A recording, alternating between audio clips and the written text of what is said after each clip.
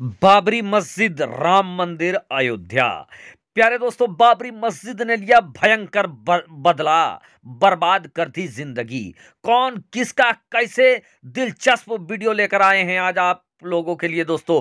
और इस वीडियो को दोस्तों, राम मंदिर उद्घाटन के दिन ज़रूर देखें। प्यारे दोस्तों, इस समय 22 तारीख को राम मंदिर का उद्घाटन किया गया।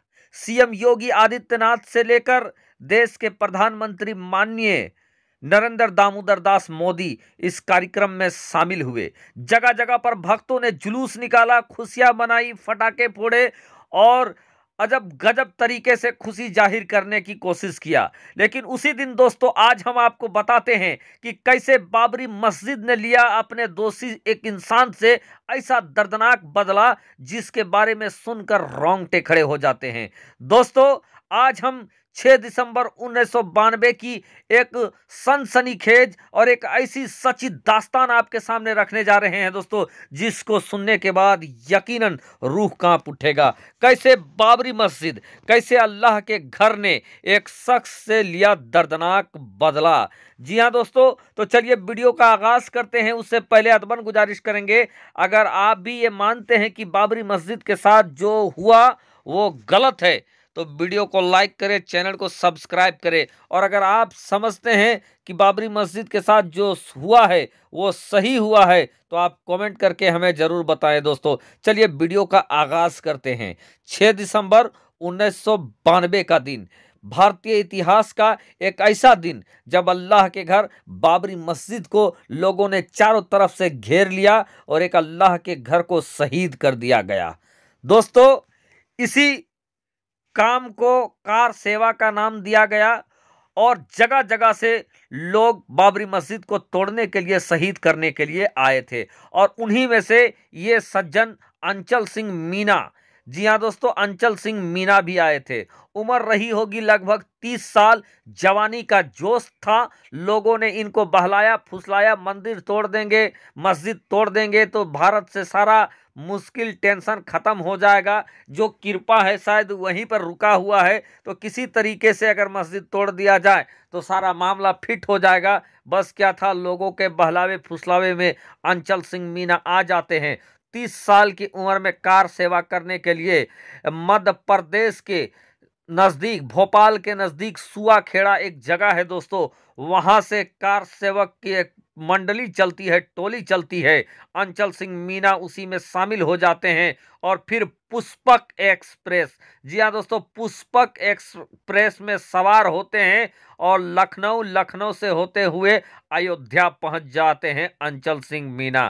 फिर क्या था दोस्तों, इन्हीं लोगों में ये भी शामिल हो जाते हैं। बाबरी मस्जिद को घेर लिया जाता है। बाबरी मस्जिद को हर तरफ़ से एक तरीके से छेक कर, घेर कर बाबरी मस्जिद पर आक्रमण कर दिया जाता है। देखते ही देखते दोस्तों, जितने लोग थे, जो वहाँ सुरक्षा में भी थे, वो भी मुख दर्शक बने रहे। क्योंकि चारों तरफ़ सिर्फ़ और सिर्फ़ बाबरी मस्जिद को तोड़ने वालों की, अल्लाह के घर को तोड़ने वालों का सर नज़र आ रहा था दोस्तों। सबके अंदर हुड़दंग सवार था। फिर किस, कोई भी किसी का सुनने वाला नहीं था।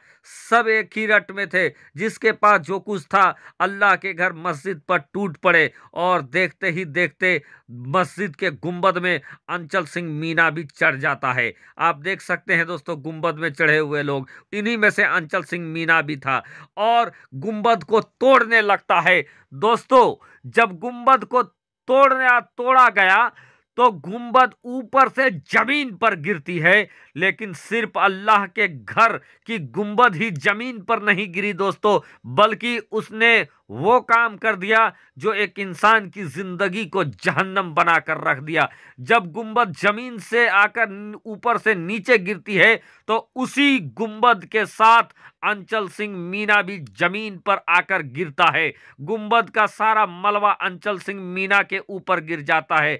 बड़े मुश्किल से घींच घाच के अंचल सिंह मीना को बाबरी मस्जिद के गुंबद के मलबे से निकाला जाता है। अधमरा सा अंचल सिंह मीना हो चुका था। उसको आनंद फानन में, अयोध्या के हॉस्पिटल में ले जाया जाता है दोस्तों। इलाज करवाया जाता है, लेकिन इलाज कोई असर नहीं कर रहा था। फिर क्या था दोस्तों? उनको फिर वहाँ से रेफर करके अंचल सिंह मीना को फिर पहुँचा दिया जाता है लखनऊ। और लखनऊ के हॉस्पिटल में दोस्तों, लंबे समय तक अंचल सिंह मीना का इलाज होता है। लेकिन तमाम इलाज करने के बावजूद दोस्तों, उनका कुछ भी असर नहीं होता है, बल्कि नीचे का हिस्सा, कमर का हिस्सा अब अंचल सिंह मीना का खराब हो चुका था। जो अंचल सिंह मीना जवानी के जोश में अल्लाह के घर को तोड़ने के लिए आया था, वो अंचल सिंह मीना अब अपाहिज हो चुका था। खटिया में आ चुका था। कुछ सालों तक तो उनको देखने के लिए लोग आते रहे, लेकिन बाद में ज़िंदगी का एक बड़ा सा लम्हा अंचल सिंह मीना अपने घर की चारपाई में अकेला करवट काटता रहा काटता रहा। कोई पूछने वाला, कोई देखने वाला नहीं था।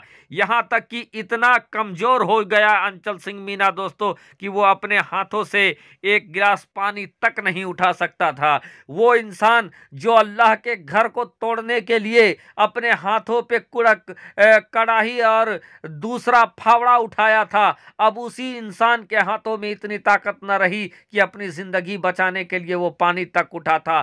फिर क्या था दोस्तों? घुटते घुटते आखिरकार अंचल सिंह मीना की भी ज़िंदगी खत्म हो जाता है। और अंचल सिंह मीना दोस्तों, जब आखिरी बार उनसे मिला गया तो ये बातें खुद अंचल सिंह मीना ने अपनी जुबानी बताया था कि आज कई सालों से वो खटिया पे पड़ा हुआ है। अब कोई देखने, पूछने तक नहीं आता है। तो दोस्तों, यही होती है कि अगर आप किसी के बहकावे में कोई गलत काम करते हो तो बहकावे में तो आ जाते हो, लेकिन जब उसकी सज़ा मिलता है, जब आप उसके भुक्त भोगी होते हो तो फिर आपका पूछने वाला कोई नहीं रहेगा। आपको अपनी करनी का फल खुद ही काटना पड़ेगा। और दोस्तों, इसीलिए तो किसी ने क्या खूब कहा है कि अपनी ही करनी का फल है नेकी और बुराइयाँ। अपनी ही करनी का फल है नेकी और बुराइयाँ आपके ही साथ साथ चलेगी, आपकी परछाइयाँ। दोस्तों, अंचल सिंह मीना का ये वाक्य हम लोगों को बताता है कि धर्म स्थल चाहे किसी का हो, हिंदू का हो, मुसलमान का हो, सिख का हो, ईसाई का हो, या बौद्ध का हो आप अपने धर्म स्थल का जिस तरीके से मानते हैं, उसी तरीके से कम से कम दूसरे के धर्म स्थल का सम्मान करें। अगर आप दूसरे के धर्म स्थल का सम्मान नहीं करते हो तो यकीनन आप अच्छे आदमी नहीं हो सकते हो। तो दोस्तों, दूसरे के बहकावे में आकर आप ने मंदिर को तोड़ा। रब की लाठी का मार ऐसा हुआ कि आप खुद किसी काम के नहीं रहे।